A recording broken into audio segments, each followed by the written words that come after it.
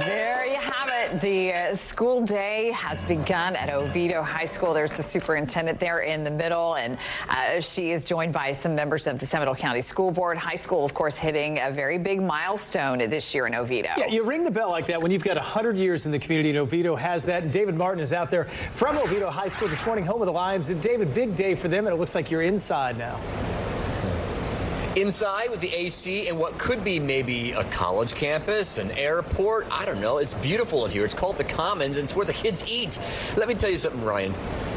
When we were in high school, and this guy can attest, nothing like this. His name is Jamie DeVivo. He is the director of Red Apple Dining. That means he's in charge of all the school eating programs for the Seminole County School District. My friend, how are you? Great, good to see you today. So you and I are sitting in a giant new cafeteria that you call the Commons. Yes. And uh, it's got a food court vibe because it is a food court. That's right. All right, so let's pan our camera left to the first option that Oviedo High School students have. What is this called? Yes, so we feature five uh, micro restaurants in our uh, renovation project at the Commons. Uh, the first one's Filtered, uh, so that's our partnership with uh, Barnie's, who's a local uh, some, local Central Florida vendor, and we feature their cold brew, we feature their beans. Jamie, I saw high school students getting coffee here this morning. That's right. It's insane. When you and I were in high school, we didn't even know what coffee was. That's right, true. Next over there, we have chicken. It's called the Roost. The Roost, yes. We feature our antibiotic-free, whole muscle, all white meat chicken, uh, featuring boneless wings, chicken tenders. We have a chicken sandwich, a spicy chicken sandwich, uh, unlimited fresh fruits and vegetables, side salad, milk. Uh, at the Roost, yes. Wow, and next to that, I love the name of this Pie yes, Pizzeria. Pie 314. It's a nice little play on the education uh, piece there. Yeah. Uh, that features our uh, custom uh, crust uh, that we've manufactured uh, with Tobito's, Vinny Tobito from Kitchen Boss fame. Wow. we make a whole grain crust, protein fortified, and then we make our shred our own cheese, vine ripened tomato sauce. we do cheese pizza, pepperoni pizza. We make our own buffalo chicken pizza, which I'd put up against anybody.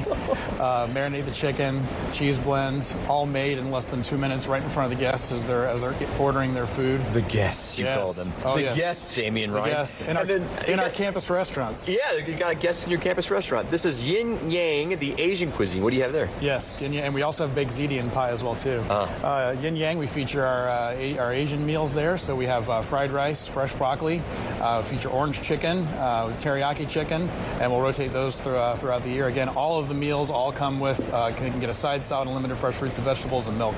Wow. And yes. finally, our Mexican friends representing here. Yes, Mexology. So uh, I'm sure we all have our favorite uh, place that we go to get our nice yes. burrito bowl. Yes. Well, this is where you get it in Seminole County. So uh, we have Mexology. The guest comes up, they get a fresh cilantro lime rice that they're actually making in the back right now. Real cilantro, fresh lime juice, uh, fajita vegetables, oh. fajita chicken, fajita beef. So the kids pay for all this, right?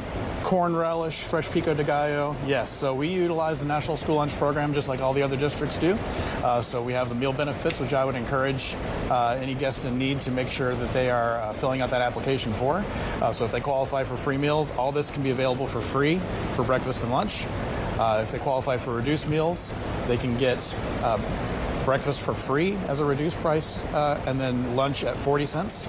And then um, lunch for our paid guest is 375 and breakfast what is 275 bargain. what a deal and what a show you have. You're brand new for the new school year. Yes. It's gorgeous. It seats 954 people. Yes. And uh, you're going to be day. busy twice a day right because right. you've got 2500 just kids for lunch. we do breakfast as well yes. Fine. And breakfast. Yes.